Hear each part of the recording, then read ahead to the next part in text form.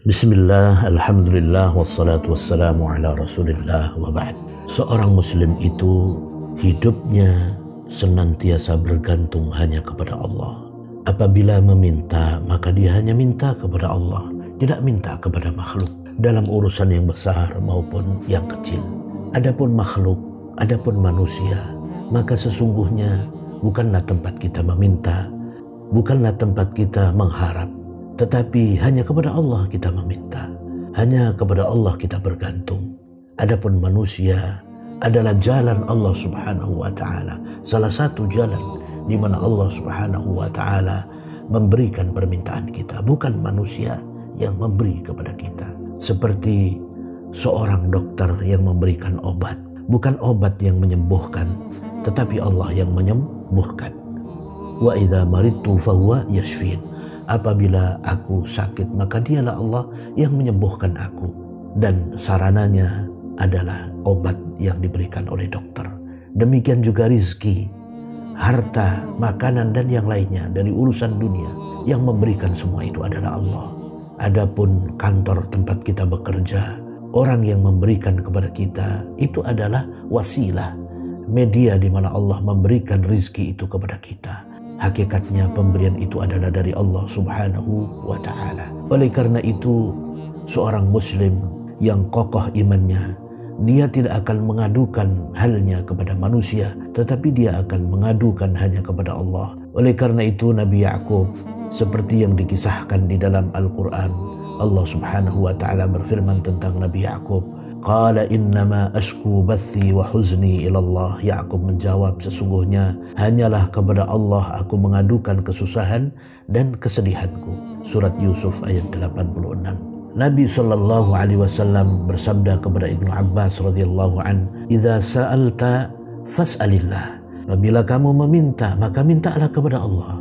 Hadis riwayat Tirmidzi, Ahmad dan Hakim. Allah Subhanahu wa taala di dalam surat Al-Ankabut ayat 17 menegaskan, "Fabtaghu 'indallahi rizq." Maka mintalah rizki itu di sisi Allah, bukan kepada orang atau kepada makhluk. Ketika Umar bin Khattab membaca surat Yusuf pada saat sholat subuh, tatkala membaca ayat qala innama ashku bathi wa huzni ilallah Umar menangis hingga terdengar isak tangisnya dari sof yang paling belakang karena ingat bahwasanya Hidup ini tidak boleh kita adukan urusan kita kepada manusia, tetapi segala kesusahan, kesedihan, urusan kita hendaknya kita adukan hanya kepada Allah dan Allah lah yang akan membantu menolong kepada kita untuk menyelesaikan masalah kita. Orang yang imannya sudah benar, hatinya telah hidup, maka akan betul-betul hanya bergantung kepada Allah. Seperti bergantungnya orang yang terjepit, sangat mencintai, mengagungkan dan membutuhkan Allah Subhanahu wa taala. Dia akan merendahkan diri dengan meletakkan pipinya di atas pintu tuannya sambil menampakkan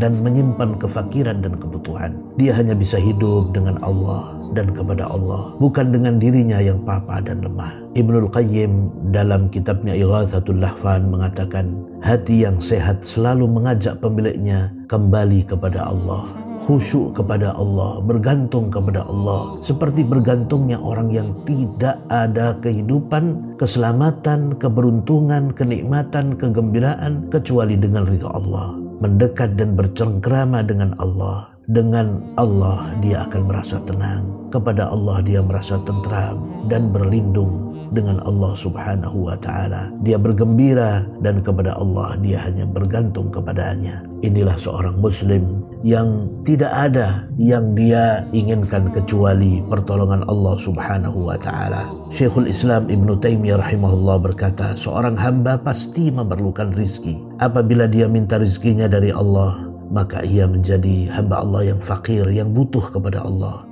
Apabila dia meminta dari makhluk, maka dia akan menjadi budak makhluk tersebut yang selalu membutuhkannya. Mudah-mudahan kita senantiasa ingat kepada Allah dan bahwa hidup kita hanyalah bisa tercukupi dengan kasih sayang Allah, dengan pemberian dan pertolongan Allah dan hendaknya itu adalah menjadi kehidupan kita sehari-hari selalu bergantung kepada Allah Subhanahu wa taala.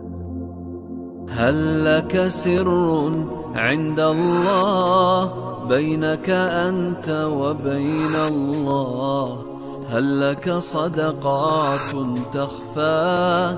لا يعلمها إلا الله. هل لك سر عند الله؟ بينك